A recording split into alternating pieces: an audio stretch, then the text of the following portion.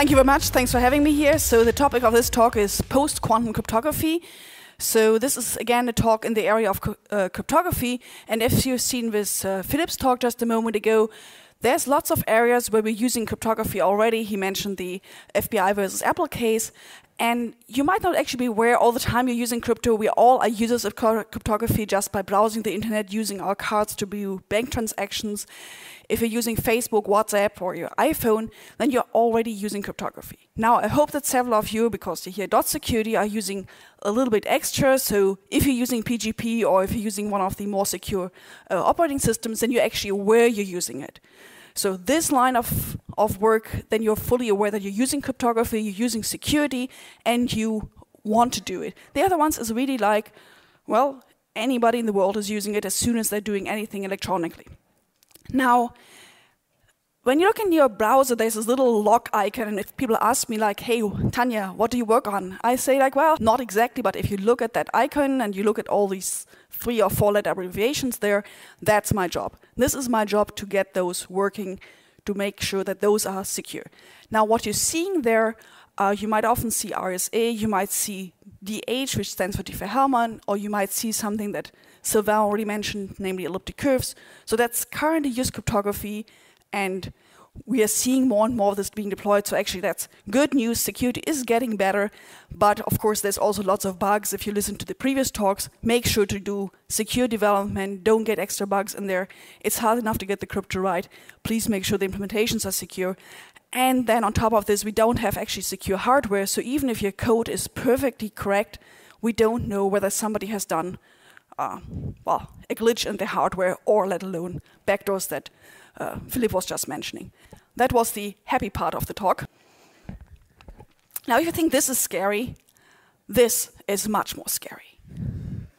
This is really damn scary because this thing is Shor's algorithm, and Shor's algorithm is something which breaks all those things with a three or four letter abbreviations. Shor's algorithm is breaking RSA. Shor's algorithm is breaking Diffie-Hellman in all the versions that we know, whether it's fine fields, elliptic curves, all of those are broken. Broken, dead. So all kind of use cryptography on the internet, on your smartphone, everywhere is dead.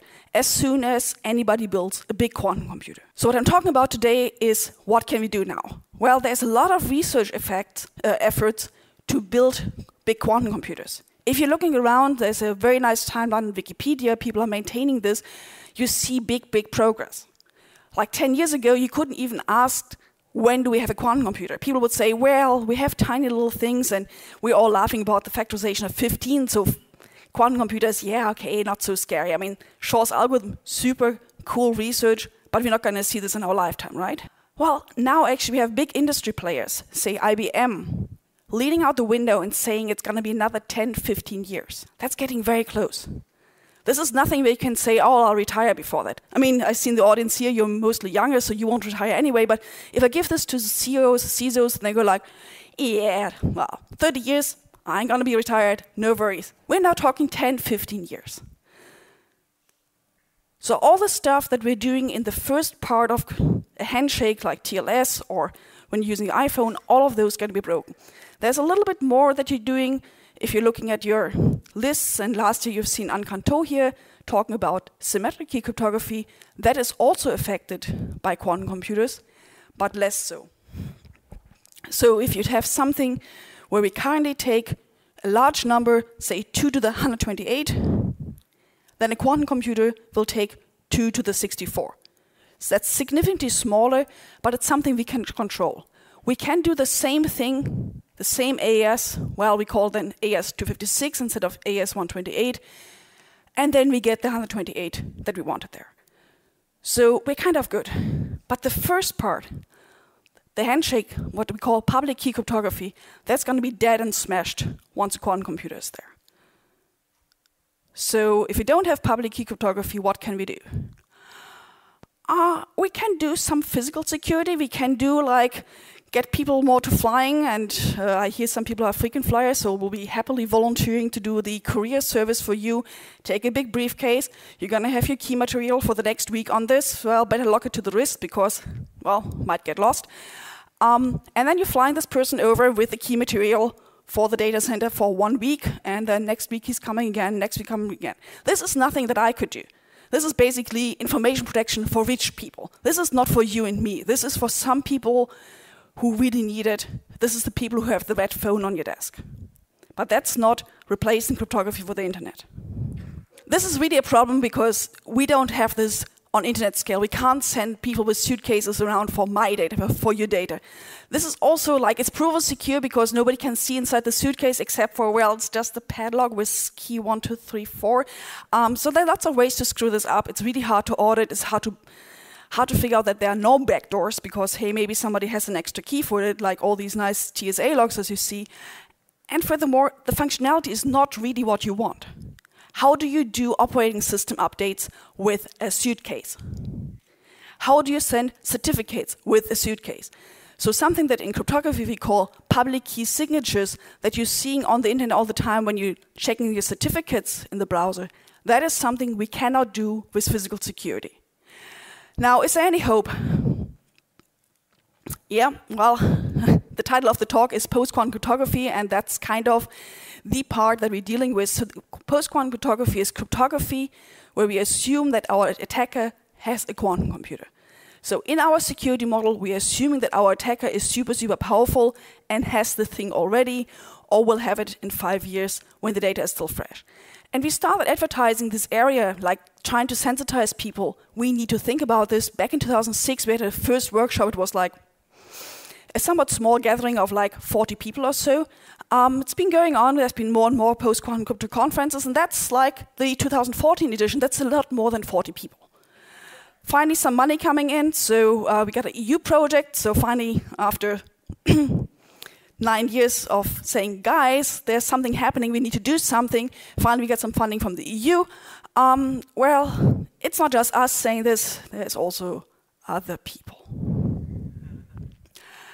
So there was one NSA announcement that was kind of very visible, summer 2015. The NSA kind of woke up and said, uh, something is happening. Uh, we are aware that something is happening and somebody must transition to post-quantum soon. I think the PR team went after them and said, guys, you can't write this. So a few days later, they kind of quietly changed it. You can still find this on the Wayback Machine on the internet. Uh, now it says we will initiate. So the NSA will lead the, uh, the way to secure post-quantum cryptography. So kind of this gives me this feeling there. They came late, they're like 10 years late, and then they botched the grand entrance. Another problem is, now we have some people saying, oh, the NSA says use post-quantum cryptography, so it must be backdoored. Okay, leaving the tinfoil hats at home, let's do something more productive. So we're getting it into mainstream area. It's now one of the big topics in cryptography. So we had more than 200 people at the last conference. And actually, if you want to get into this, there's now a call for submission by NIST, the National Institute for uh, Standards and Technology of the US. And they are asking for people to submit something. So it's going to be another five years till we have a standard. But at least people are getting more and more aware. So I know that ETSI, the European Telecoms um, Standards Institute, ISO, and so on, they're now all saying, oops, we must do something about post-quantum cryptography. We must do something so that the threat of quantum computers is dealt with. Now, what do these 200 people do? When we're doing cryptography, we start from something like a math algorithm. We're thinking like, what is hard? Joseph Bonneau earlier mentioned, okay, that computing square roots takes longer than squaring something. That's like one of an example where something has different costs going one way than the other way. So when we're designing crypto systems, we are building something based on cryptographic one-way function, on computational assumptions. And we're now looking at computational assumptions that are also hard for a quantum computer. Because the RSA and Diffie-Hellman and elliptic curve Diffie-Hellman versions that we've seen, they are not secure against a quantum computer. So when we build a crypto system, there's lots of stages where we're exploring, where we're trying to figure out what is hard, trying to figure out like how hard is it for an attacker. Then we're going for, is it usable? Can we build a crypto system out of this? The world is littered with crypto systems or attempts at crypto system where somebody said, hey, my math course says this is hard. Let me build something around it. But we're often getting the trapdoors wrong because you need to get something which is easy for the one who has a key and hard for the others. So then we need to take the good ones, implement, see that they actually work, see that we can do this in the side channel secure version, so get the implementations right, integrate it into protocols, because some of those systems look quite different from the crypto that you're currently using. You can't just say, hey, I take my RSA, the one that I'm currently using, and I plug in one of the newfangled systems. So there's lots and lots of steps. So as an example, elliptic curve cryptography came out in 1985. It took them 30 years to see widespread uh, deployment. 2015, we're finally seeing elliptic curve cryptography take over the internet. That's 30 years. So we sure cannot wait till we have a quantum computer to start research on it. If the 1980s look a little far away for you, that was the 1980s. That's elliptic curve cryptography. Now, that was the good part of the story. If you have any data that is still interesting 10, 15 years from now, if you have something which requires long term confidentiality, then you have to be concerned about the attack of quantum computers already now. So, how do we deal with this? How can we build something where we can guarantee, say, health data, legal proceedings, my email, if I care about it long enough? I don't want people to be able to read this 30 years from now. Now, when we started giving these talks, like back 2006 or so, people were like, You're paranoid. How would anybody get your emails? Do you think that they are watching? You think they are listening? You think they're recording it? Well, yeah, they are watching. Yeah, they are recording. There's big data centers all over the world that are taking every single bit of encrypted communication that's out there and storing it. Now, if this data is encrypted with public key cryptography, and that's all we're seeing right now, there is some component that a quantum computer can break. So if they have your TLS connection, if you're visiting a secure website today, 21st of April 2017, we don't have a quantum computer yet, so we believe. They can just go back to what randomness your computer was using on the 21st of April 2017 and just go back to today by breaking the crypto with a quantum computer, and then they can read everything you've been doing. So by storing all the information, all the communication data, they can actually go back in time and figure out what you have. So that's a problem for everything where you have long-term confidentiality. Now for signatures, so for website certificates, for your code updates and so on, the feeling is, well, signatures, it only matters the moment you're accepting a signature. It doesn't matter whether in five years somebody has a quantum computer. If today I'm accepting a signature and we don't have a quantum computer, it's a good signature. Now that's true. But the problem is we will not get a memo the day that somebody built a quantum computer. Well, it depends on where you're working. Maybe some of you will get a memo. I won't get a memo. There will not be a news article, oh, some researchers built a big quantum computer. This will be sitting somewhere in the cellar in the basement of some big agency. Maybe five, ten years later, we will see, oh, somebody has publicly built a quantum computer. But that's different. And one problem is once the quantum computer is there, you cannot do any more updates. You actually need the signature in place before something comes. So actually, if you roll out something today, and Mikko was mentioning cars where he wants to have them for 20, 30 years. So if you're building anything where you have long-term security, you must actually today get your signatures in place so you can do code updates the moment that somebody is concerned enough about a quantum computer. So at that moment, you actually need to have a post-quantum secure signature system. Now, I mentioned that we finally got some money, so, well, we've been doing our worth of money, so some people got together, including me, and we wrote some recommendations. So it's not that we are just saying, hmm, yeah, there's a problem, we don't know how to solve it. We actually have some recommendations, and the first few lines should look kind of familiar to you. So the first few lines are crypto systems that we now use, but we need to use with larger keys. So that's the effect of this square root attack that I had on the previous slide saying Grover's attack. So we can actually um, upgrade our systems with not too much effort. You will not much need, um, you will not much use extra power, you will not use much more time, you will not notice it. Also, authenticity, authenticity with symmetric cryptography, that's fine. But the real problem is public key cryptography.